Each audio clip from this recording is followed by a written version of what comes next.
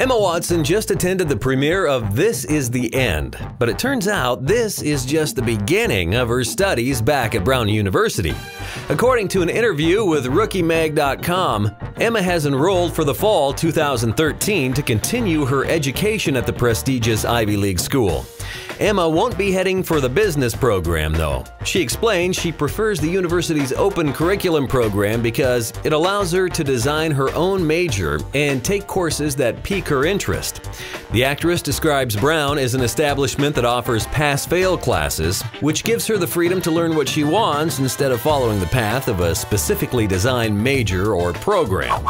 Like she tells the site, she did an independent study on the psychology and philosophy of how and why we fall in love. The good news for other students is the Bling Ring star probably won't be competing with them in the future job market.